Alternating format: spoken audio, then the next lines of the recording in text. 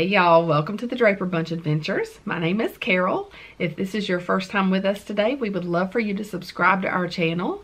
If you are returning, we're so glad that you came back and please give us a big thumbs up to let us know you were here today. If you haven't clicked on the bell for notifications, make sure you do that so you'll get notified when we have new content. So if you've learned anything about our family so far, you know we love Disney cruising and we also are on an adventure of homeschooling in our house. Today I want to talk to you a little bit about um, the curriculum that we're using for our daughter Ella. Ella is nine years old and has an October birthday, so by public school standards, that puts her in third grade. She is quite advanced in many ways, and so definitely keep that in mind as I'm sharing the curriculum with you that we have today. Um, I would like to share a little bit about my philosophy with elementary school students and subjects such as science and social studies before we delve into the curriculum so that you can kind of get an idea of the perspective that I'm coming from. I learned a long time ago, having a background in education, specifically working with elementary kids and um, dealing with the different subject areas, that really in the elementary years, it's my philosophy that kids need exposure and interest in science and social studies meaning that it's great to expose them to science and social studies and history and, and show them all those things, but they don't necessarily master or understand it completely because it can be very abstract concepts, which is why they get a repeat of a lot of it later on. So to me, it's more about exposure and building an interest in those areas and letting them pursue the, the topics that they're interested in than it is about mastery of learning for science and social studies. I'm a firm believer that elementary schools should focus on reading and math as fundamentals. And it's very important that our kids have a solid foundation in that because it leads to so many other things. And it really is, reading especially is a solid foundation for them to be able to perform well in science and social studies. So we focus heavily on language arts and math and we do a lot of activities and fun stuff with science and social studies as time allows, and I'll discuss that more when I get into the materials that I use. But let's get started. So for math for Ella, we use teaching textbooks. If you saw my ninth grade curriculum video, you saw that I'm a big fan of teaching textbooks and we also use it for our high school son as well. Um, teaching textbooks is extremely user-friendly. So that's one of the reasons why I love it. I also feel that it is very thorough in covering the material that needs to be covered one of the things I mentioned in my last video is that scope and sequence is very important when you're looking at a curriculum for your children because the scope and sequence for a curriculum will tell you what they're going to learn and the order that they're going to learn it in. And if you kind of have an idea of what your kids already know and what they need to sort of learn next, then looking at the scope and sequence will help you determine if that curriculum is right for you maybe, or it may make you mark that curriculum off your list because maybe it's just not quite what you're looking for. So I know that teaching textbooks specifically has um, table of contents for each of their levels online so you can look at that. That will be helpful to you. But the other nice thing about teaching textbooks is on their website, they have um, a button on the left-hand side of the screen when you go on the website, kind of close to the bottom that says placement. So if you click on that, it will lead you to placement tests for each of their levels. You can print those out and give them to your child and it gives you the guideline and the answer key and everything. And it will help you determine the proper placement for your child in their different levels of math. So for Ella last year, she did the placement test for Math 3, even though she was in second grade, and she was able to pass that placement test. So she completed Math 3 last year, and this year she is completing Math 4. So even though by school standards she's in third grade, she's really in math four for teaching textbooks because it was the right fit for her. And we should always try to make sure that we choose what's the right fit for our kids so that they're not repeating things they already know and have already mastered and they can just keep moving forward because that's what's most important. So I like this curriculum because it's very well laid out. It comes with, there are two versions. There's the 2.0 version, which is what I have. There's the 3.0 version. The 3.0 version is online. That's something new that Teaching Textbooks recently started and it is all online and because of that we opted to stick with the 2.0 version because we live in a rural area and internet is spotty at best so we decided to stick with paper and pencil for this particular curriculum the content in 2.0 and 3.0 is the same. So there's no there's no difference in the scope and sequence. They're exactly the same. It's just a difference in having a book and CD-ROMs versus just doing it all online. And we prefer the books and the CD-ROMs. So it does come with the textbook and with the CD-ROMs, and there is a teacher answer key, which I don't have here with me, but they, it does come with a teacher answer key as well. So the nice thing about this program is that it has a table of contents in the front. And you can see table of contents there. Um, it's laid out into lessons and then there are quizzes at the end of so many lessons. There's a quiz on the material that's been covered. Um, the kids, when they get ready to do a lesson, they just go into the computer. You will have created a login for them. They log in and they can click on which lesson. If they're on lesson 48, they click on lesson 48. They click on lecture and the computer will teach the lecture or the skill for that day, the lesson, and then they'll complete the problems that go along with it. So it's really user-friendly, really easy. I like the fact that they don't give 45 math problems in one lesson. It's fairly comprehensive in that they give four or five practice problems and then a set of about 20 additional problems to do. So it's not too time consuming. It's pretty, um, pretty independent. The kids can work pretty independently with it on their own.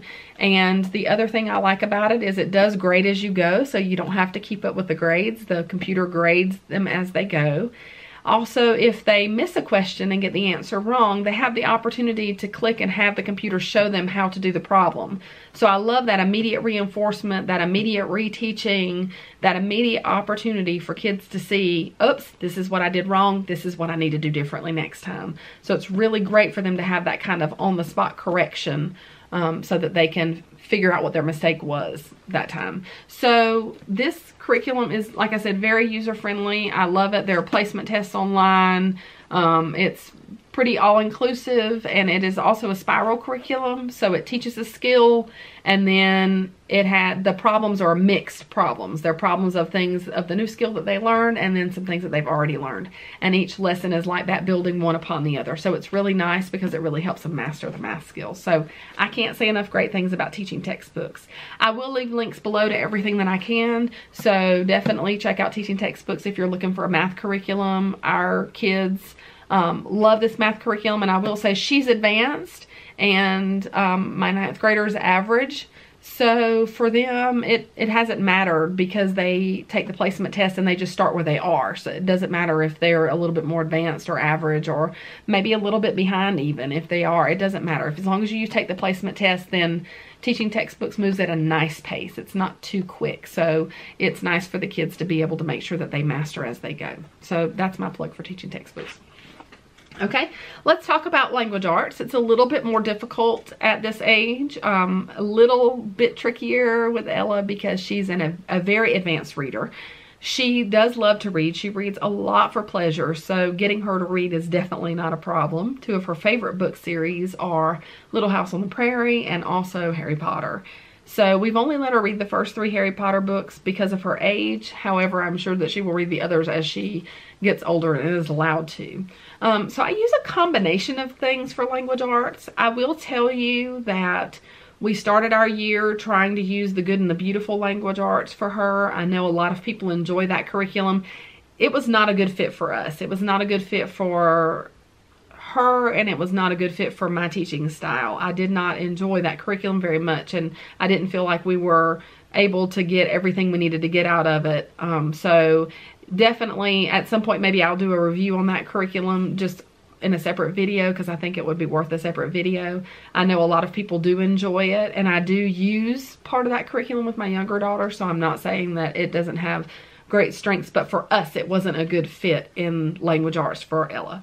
So I'll start with, um, we like Abeka a lot. Abeka curriculum is very traditional. It um, one of the complaints people have about it is that it has a lot of seat work, a lot of worksheets, a lot of busy work.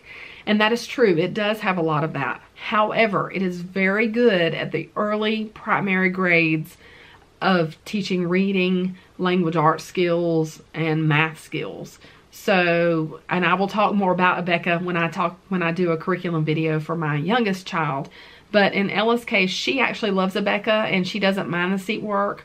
What I will say to you and what I'd like to say right now in this moment is remember that you're always in charge of your kids' education. And so unless you enroll in the academy program where you're having to report and send in papers to be graded and things like that, you're in charge of how much of the seat work they do. We've never enrolled in anything like that. I've always done it all independently in our house on our own because I like to be in control of how fast we move or how slow we move.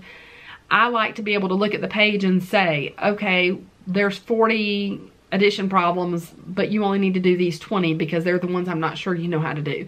So just remember that you get to choose. Just because a curriculum has four worksheets in a day doesn't mean you have to do all four of those. You pick and choose which things you think are most valuable to your child's learning and those are the ones that you do. So we do we do use some Abeka pieces for Ella's language arts. We don't solely use Abeka, but we do use the pieces. I don't necessarily um, use the teacher's guide in the in some, these i mean i take suggestions out of there but i'm i'm very kind of loose with how i use it and and picking and choosing for her what i want her to do. So this is one of the books that i do like from the abeka third grade. It's a reading comprehension book. And it just has um, different types of stories paragraphs um, ads in it. I don't know if you can see that or not and then it has all different types of comprehension questions and literary questions in it. Sometimes it'll have puzzles. Um, I was trying to find something. So, so sometimes it'll have like a crossword puzzle. Hopefully you can see that. And then other times it has specific questions where they have to circle answers or write out answers. I'm peeking around the corner so I can make sure that you can see it. Um, so I really like this book because it's a it's a quick way to help her develop stronger reading comprehension skills considering that she's already very advanced in that area. She, like I said, loves to read on her own. She's constantly telling us all about what she's reading in her books and they're books that we've read so we know that she's accurate in her details and so we just want to develop and hone in those reading comprehension skills. And this book is great because it's just a quick little read every day and a few questions, and it just kind of helps keep her moving forward in that. Um, another Abeka book that I really like is the Grammar and Writing. We do not use this exclusively. I do like it, but it is a lot of seat work. But it has great activities for learning about run-on sentences and conjunctions and things like that. So Grammar is not something that I think students have to master at the elementary level necessarily. I think they really will learn more from the way that we speak to them and, and by exposure to reading, they get good exposure to what proper sentence structure is like in books. And so they learn a lot just from what they hear and what they read and their interactions with adults. Um, I think they need exposure to it, but again, it may not necessarily be something they master at the elementary level, and it's not necessary for them to master it at the elementary level. Once they get into junior high and high school, then it's it's definitely important to focus on that. But at the elementary level, it's an exposure thing, and they're going to get a lot of exposure just by the way we speak to them and their conversations with us, and then the material that they read as well. Most often, children write the way they speak.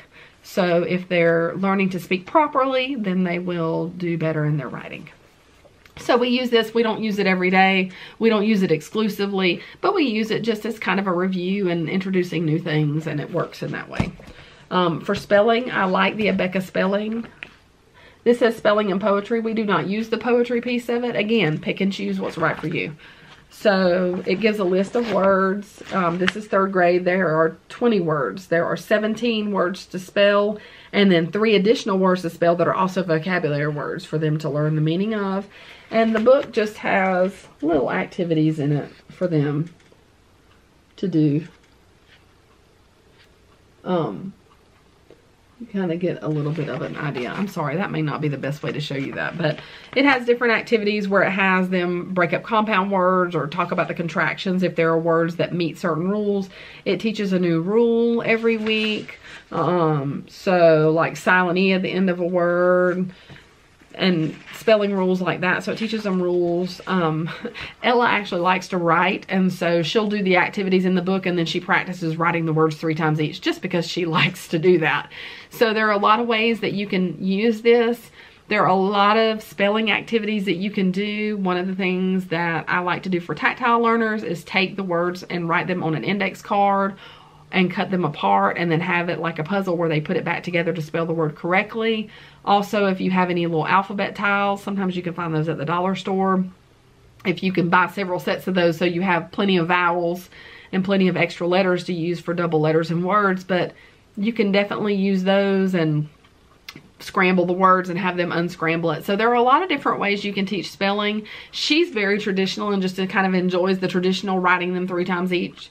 Um, but there are a lot of other activities you could do as well with this. So we, Abeka, Abeka language, and then Abeka reading comprehension here. Um, she has her own little spelling notebook that she likes to write in, and this is where she writes the words three times each. This year we have discovered Fix-It Grammar, which I talked about in my last video with ninth grade, and I started using it late in the year, and I do mean like in the last couple of months with Ella. Um, it really, I think they suggest starting it in fourth grade, but I went ahead and started a little bit of it with her now, and then we'll finish the, there are six books to Fix It Grammar. So this is book one. I started book one with her. We did some of it, and we'll we'll do the rest of it next year. So she's just kind of ahead of the game a little bit. Um, I really like this as a comprehensive grammar program. This is by IEW, Institute for Excellence in Writing. And they also have a writing program, which I talked about in my ninth grade video as well. And so Ella will be starting level A of their writing program next year. And the nice thing is, is that their writing program and their Fix-It Grammar parallel each other. So when you're covering one topic here, it's going to parallel over into the writing as well. It's nice because they just mesh so well together and they work really well together. I can't recommend IEW products highly enough. They're extremely successful in teaching kids about grammar and writing. I did not realize they had a grammar program, but I love it because it So in the beginning, of each week, it teaches a new skill. You can see this one's the, like the first week, so nouns and things like that. And then at the bottom of each day, I'm trying to find one to show you. At the at the bottom of, so here's week two. It teaches articles. And then at the bottom of the page, it tells you day one, day two, day three, day four, what to do. So on day one, they learn the skill and they, on the next page, they have sentences to correct. And it's just a sentence per day. So they learn the skill on day one, they correct the first sentence, they rewrite the sentence in a separate notebook. On days two through four, they correct the, the remaining sentences, one sentence each day. And they write them in the notebook. Each day, they also have a highlighted vocabulary word, which they define and they write in their notebook. So they learn the skill and they apply it over the course of the four days by picking out the nouns and articles or whatever it is they're having them do in a sentence each day, defining a vocabulary word, and then at the end of the week, they rewrite that portion that they have corrected for the week. And as they go through the book, they'll end up having an entire story. So it's really nice because it's it doesn't take a lot of time to do, but it's very effective in teaching and reinforcing and practicing the skills that they're learning. So we really enjoy the Fix It Grammar. I highly recommend looking into that if you are looking for something for grammar. Um, I would also say that if you feel like that's I feel like this program is good for kids that may struggle with grammar or kids that maybe are really, really good at grammar. I think it's good for both. That's just my opinion, but I think it's good for both. And then, of course, we just bought her a spiral bound notebook where she rewrites this. She writes the vocabulary words and definitions, and it's one vocabulary word per day and a definition. And then she rewrites the sentences in her notebook. She's my messy handwriting. She's my, she's my child that has messy handwriting. So, but we're working on it. So that's what we use primarily for language arts. I'm going to talk about our social studies program in a minute and it has a literature component to it as well. So that also crosses into our language arts. So those are the things that we do for language arts. We use Abeka, um, loosely use Abeka. We don't follow it to the letter of the law. We use Fix-It Grammar for IEW, and those things have worked very well for us. And then for pleasure reading, I just let her choose whatever she wants to read because as I said before, um, she probably has an entire bookstore full of books in her room. She loves to read, so getting her to pleasure read is not, not a difficult task at all. She really enjoys reading. So now moving on to social studies and science. Those are the two that I told you that I feel like exposure is key and letting them pursue their interest is key. And so we don't necessarily do these subjects every day. We do them couple of three times a week, maybe depending on our schedule and depending on what's going on, depending on what we're learning.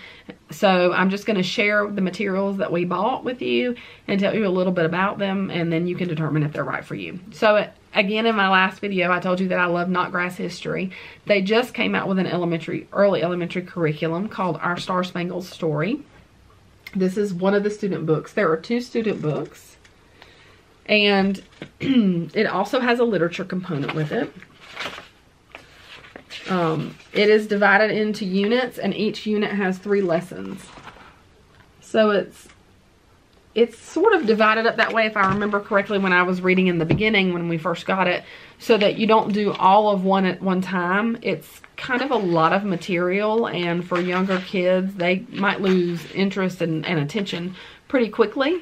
So it does, you know, the way we did it because we have two younger kids is I just would take the day's lesson and read it to them. And we, at the end of, I was trying to find at the end, it gives lesson activities and questions at the end.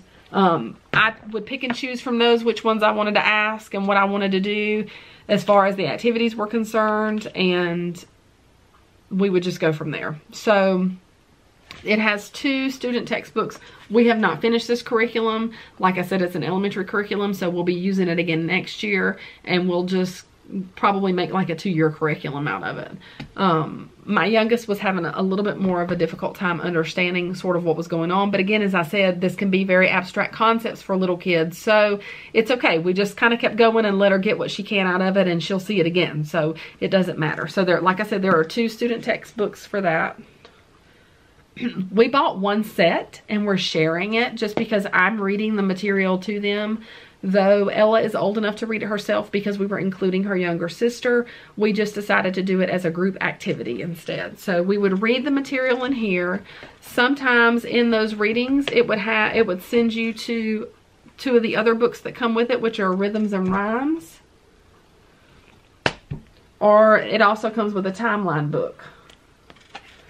So it would have you go into the timeline. It would show you different pictures and facts from the timeline. I'm sorry, I'm really trying to hold this in a good spot for you to see. Um, so those two books also come with the package as well. I can't remember if it, if these items are sold separately or not. I think maybe they are, but we just bought the whole package with everything in it. So the next piece is the student workbook. It has an activity for each day. Some of the activities are more simplistic, like drawing. And then sometimes it's fill in the blank. So some of the activities are a little more complex for younger students. Again, they may need a little bit more help. If you have a kid that doesn't like to draw, again, that's where I say you're in control. If your child doesn't like to draw, you can either create some alternate activity for them to do or just let them skip it. It's really, you know, it really doesn't matter. So it's one of the nice things about being able to homeschool is that they don't have to draw in color if it's not something that they're interested in doing. Um, the other piece is that it comes with an answer key and a literature guide. So this answer key answers all the questions in the student workbook and then it has a literature guide. I'm going to show you the literature in just a second that comes with this program and it gives you comprehension questions to ask as you're reading the literature with the children. They are all chapter books, and so we were using them as read alouds. We have not read them all. We've only done some. So again, we will finish it next year. But um, it does give questions that you can ask along the way here too. So those are the components for that.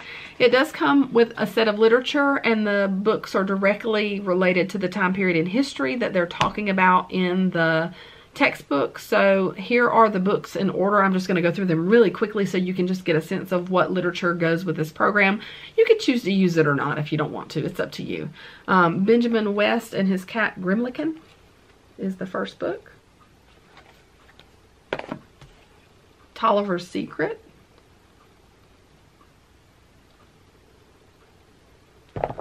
Freedom Crossing. Farmer Boy which of course Ella loves because she loves all the Little House on the Prairie books. Mountain Born. Emily's Runaway Imagination.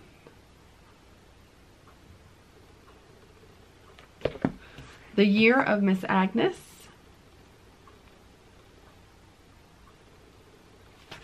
And Katie. So that's quite a lot of literature that comes with the program. Again, I did it as read aloud since I was using it with two kids. One of the nice things about this curriculum is you can use it with multiple ages. So again, Notgrass, very user friendly, very easy to follow, very much an open and go type of curriculum. There are some of the lesson activities and things that need some extra materials that you might want to look ahead for, but you could you don't have to do all those. Certainly I wouldn't try to do everything included in here. It is a lot otherwise. Um, so I love it because it's very flexible. You can use it for what you want. So that's what we did for social studies.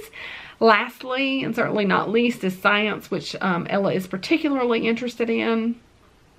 We did not buy a science curriculum. We used all-in-one homeschool, which is easy peasy homeschool online. I'll leave a link to that below. We use that, um, just using their daily activities on there. They have a lot of good exposure to a lot of science concepts and, and some little online activities and games that kind of are linked to it, so it makes it really fun. We also have a subscription to something called BrainPOP Junior. It's something I used when I was teaching and there are just great little videos for and activities for all different types of social studies and science concepts. So it's a little bit pricey, so it might not be something that you're interested in, but it's something something that's a really good resource if you are interested in it. Again, I'll leave a link below for that as well. The other thing that we like are um, the Magic School Bus kits called the Young Scientist Club. Um, this is kit 15. I can't, I bought them when my son was in elementary school, so I don't remember how often they come. Maybe you get to choose. I don't really remember. I'm sorry. But they're great little kits. They come all-inclusive. I'll take it out and show you. They come all-inclusive. The kit is um, contains any science-like materials that you might need that might not be commonly be able to be found somewhere. Um, and then it, sometimes you have to have household items to go with it. This might take a little advanced prep work because some of the items are things that you might not just have lying around always. These activities are so fun for the kids and just really pretty easy to do. So this one is all about acids and bases and it has all the different experiments in it. It has an instruction guide that tells you all the materials you'll need. It's very explicit in telling you what to do and what to say to the children to make sure that they're getting the terminology they need to get. It gives a lot of facts and information in it about acids and bases and it uses this cute little bug to kind of help teach about it. Um, in this particular kit, some of the things that they included that you might have more difficulty finding would be pH paper, um, litmus paper, the dropper, um, so those types of things are included in here. And then to give you an idea of some of the household items it asks for, it asks for half a red cabbage, vinegar, cola, water, baking soda, lemon. So some of those things might be things you might not readily have available. So if you were going to use, you know, like one kit a week or something, you would want to look ahead a little bit to see what was needed in that. So it does give, you know, all kinds of charts to fill in and it's just, it's a great, just very user-friendly way to teach elementary science and it's really fun for the kids. Here's a little bag of the materials that they sort of sent with it. You can, sorry, that you can see kind of that they include. I don't think you can see that very well. I'm sorry. But it does have everything, and it's all labeled too, so you know what it is, just in case it might be something that you might not be familiar with. Um, I'm not a science guru, so there might be things in there that I might not be familiar with. Um, of course, my husband, as I said before, is a, is a science guy, so he helps a lot with any science that we do. But those are just fun kits to use. Again, I'll leave a link below for those. I do not know how much they cost or the frequency of it. Like I said, we bought them several years ago, and I just kept all the stuff so that when my girls got older, we could just reuse it with my girls. So those are the items that I use primarily for Ella for homeschool curriculum for third slash maybe fourth grade. Um, like I said, it's nice to have flexibility and be able to adjust curriculums to the needs of your child and to the needs of your teaching. So one of the things that you, you know, that we have to be careful not to do is limit ourselves to checking off all the boxes. If we have a teacher's guide and it says we have to do all these things, we don't necessarily have to do that. We need to do what's right for our child in order for them to learn what we think they need to learn. And because different kids learn in different ways and have different styles of learning, that means that that may vary from child to child. Ella happens to be a child who likes to do worksheets and likes to do writing, so um, she doesn't mind doing more than one worksheet about something. My youngest child is not that kind of child. So for her, she wants to do, you know, as little writing and drawing as possible. It's not really her thing. So we definitely have to, you know, choose to adjust when necessary. And that's the nice thing about some of these curriculums. So don't don't allow yourself to think that you can't use a curriculum because it has a lot of seat work. Absolutely you can. If it's the right way to teach your child, then use it and then pick and choose which things you think are best to use as reinforcement activities for the learning that your child is getting. So thanks so much for watching today. I hope this has been useful. I'm sorry if I've been a little out of it today. I've been a little bit under the weather. I hope that you will come back and watch future videos. I am getting ready to do a video on if a Disney cruise is really worth the cost.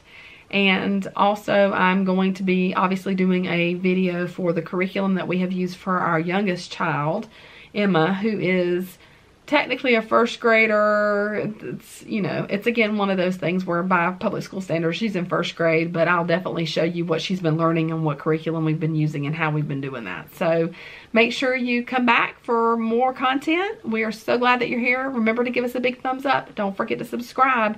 And this is your last chance to leave us any questions you have for us about homeschooling the kids would love to answer your questions. Eric and I would be happy to answer any questions you have for us as parents. So please leave those questions in the comments below. We'd love to hear from you. If you haven't followed us on Facebook and Instagram and Twitter, please be sure to do that. Though all those links are down below. Thanks so much for watching. We'll see y'all real soon.